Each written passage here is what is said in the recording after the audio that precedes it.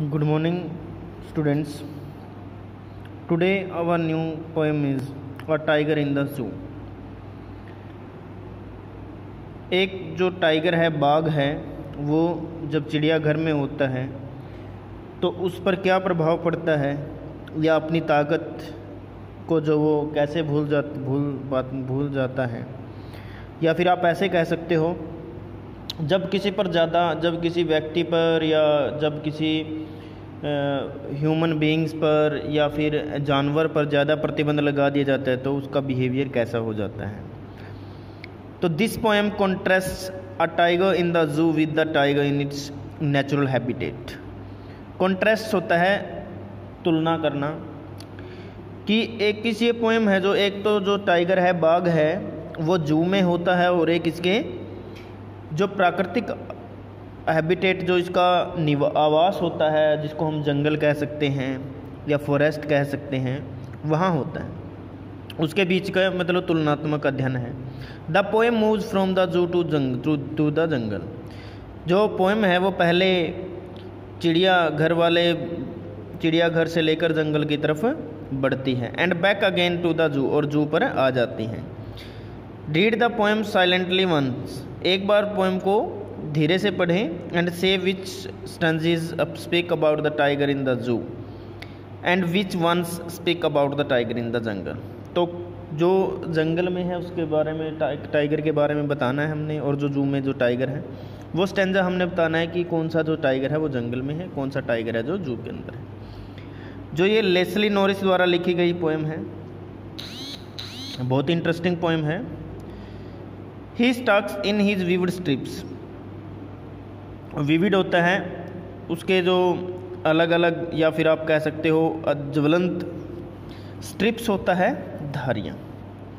यानी कि वो जब चलता है तो विविध उसकी जो धारियाँ हैं बाघ के जो शरीर पर धारियाँ होती हैं, वो ज्वलंत धारियों के साथ, यानी चमकदार धारियों के साथ बढ़ता है, आगे चलता है।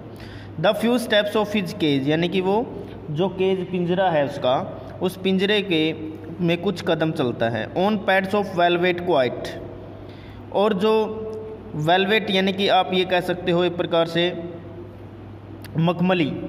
और जो पैड्स यानी उसके जो पाँव का जो तला होता है, वो जब पंजे बाहर नहीं निकले होते, वो गुदगुदा होता है। यानी कि आप उसको क्या कह सकते हैं? मखमली कह सकते हो। वो मखमली जो उसके पाँव हैं, उसके साथ वो आगे बढ़ता है, यानी किसी प्रकार की कोई आवाज़ नहीं करता। In his quiet rage rage होता है क्रोध या गुस्सा। यानी कि वो गुस्से से लाल है, लेकिन वो क्रोध, बिल्कुल क्रोध में ऐसा लग रहा है कि बिल्कुल शांत है, क्योंकि वो जेल के अंदर, यानी कि एक पिंजरे में बंद है। He should be lurking in the shadow sliding through long grass near the water hole water plump deer pass he should be lurking lurking होता है गुप्त रूप से। इन सैडो सेडो होता है छाया। यानी वो छाया में गुप्त रूप से आगे बढ़ सकते हैं अपने आप को छिपा छिपा कर बढ़ सकता है शिकार के लिए। स्लाइडिंग स्लाइडिंग होता है आगे बढ़ना थ्रो ग्लोंग ग्रास और वो जो लंबी घास है उसमें आगे की तरफ़ बढ़ सकता है। नियर द वाटर होल यानी कि पानी के स्रोत के पास। यानी जहाँ पर पा, सभी पानी जैसे एक जंगल में जब हिरन है या डियर है या कोई और जानवर है जब पानी पीने के लिए आते हैं तो जो टाइगर है वहाँ पर आ, मतलब एक क्या घात लगा के बैठा हुआ होता है उसका शिकार करने के लिए। Water plump deer pass where where sorry water नहीं वेयर जहाँ पर जो प्लम्प होता है मोटी यानी फैक्टी जो डियर है हिरन है वो गुजरती है या पानी पीने के लिए आती है तो उसका शिकार कर लेता है। He should be snarling around houses snarling होता है गर्जना। यानी कि वो गर्जन करता है, दहाड़ता है। घर के चारों ओर। At the jungle's edge jung edge होता है किनारा। जंगल के किनारों पर वो क्या करता है? किनारे पर वो दहाड़ लगाता है। Baring his white fangs his claws terrorising the village यानी कि वो क्या करता है? अपने जो सफ़ेद दांत है अपने मुँह को मतलब सफ़ेद दांत दिखाता है अपने मुँह में से, और उसका जो जबड़ा है, उसको दिखाता है, और क्या करता है, जो एक आवाज़ के साथ लोगों को, के अंदर आतंक फैलाता है, यानी कि वो क्या करता है कि डर पैदा करता है टेरराइजिंग यानी कि डराना। But he is locked in a he has locked in a concrete cell परंतु वह एक कंक्रीट यानी कि सीमेंट के सेल में बंद है लॉक है। His strength behind bars bars होता है सलाखें। उसकी जो स्ट्रेंथ है यानी कि उसकी जो ताकत है वो कहाँ है? बार्स यानी सलाखों के बिल्कुल पीछे बंद है। He stalking the length of his cage ignoring visitors जो भी विजिटर यानी यात्रीगण या जो भी ए, कोई टूरिस्ट आता है देखने के लिए चिड़ियाघर में तो वो क्या करता है? विजिटर आता है तो उनको इग्नोर कर देता है उनको अनदेखा कर देता है और अपने पिंजरे के अंदर ही इधर से उधर टहलता है। He hears the last voice at night वो आखिरी पिछली रात के समय में क्या करता है? आखिरी आवाज़ सुनता है। द पेट्रोलिंग कार्स पेट्रोलिंग जो गश्त लगाते हुए कारें होती हैं, यानी कि जो चोरी को रोकती हैं या जो भी आपराधिक जो घटनाएँ हैं, उनको रोकती हैं, उनको बोलते हैं पेट्रोलिंग कार्स यानी जब हमारे पुलिस वाले सॉरी पुलिस वाले जब हमारे कार हमारी सुरक्षा करते हैं तो पेट्रोलिंग करते हैं वो। यानी कि ड्यूटी देते। And stares with his brilliant eyes at the brilliant stars और वो चमकदार सितारों को, अपनी चमकदार आँखों से ब्रिलियंट होता है, चमकदार आँखों से निसहाय रूप से देख रहे हैं।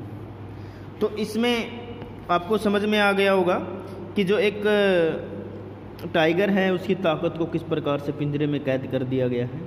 जब वो जंगल में था तो अपनी इच्छा से, स्वेच्छा से क्या कर सकता था? इधर उधर घूम सकता था, शिकार कर सकता था, लेकिन अब उसको वो शिकार नहीं कर सकता अपनी इच्छा से। तो किसी भी जानवर को यदि हम पिंजरे में डाल देंगे तो उसकी स्वतंत्रता को पर रोक लग जाएगी। सपोज़ कीजिए डियर स्टूडेंट्स आप सपोज़ कीजिए कि मान लीजिए आप पिंजरे में, किसी कमरे में कैद हैं और आपको बाहर निकलने पर प्रतिबंध है तो आपको कैसा महसूस होगा? तो वही महसूस या वही बातें किसको महसूस हो, होती हैं? जब हम किसी जानवर को पक्षी को जब हम कहाँ रखते हैं? किसी पिंजरे में या बाँध कर रखते हैं। तो जो फ़र्स्ट एंजा है वो शो करता है कि टाइगर है जो किसमें है? जू है। टाइगर इन जू जो सेकंड स्टेंजा है वो शो करता है टाइगर इन जंगल और थर्ड जो स्टेंजा है वो शो करता है टाइगर इन जंगल फोर्थ क्या शो करता है? टाइगर इन जू और फिफ्थ क्या शो करता है? Tiger in zoo I hope you will learn it much and now and yes tomorrow we will discuss about the questions in this in this poem. And the poem, the tiger. Have to read not to write तो आपने इसको right करना, नहीं करना, सिर्फ़ आपने पढ़ना है। ऐसे ही दो, जो द पेंथर हैं, वो भी आपने पोएम क्या करनी है? सिर्फ़ रीड करनी है। Thank you have a good day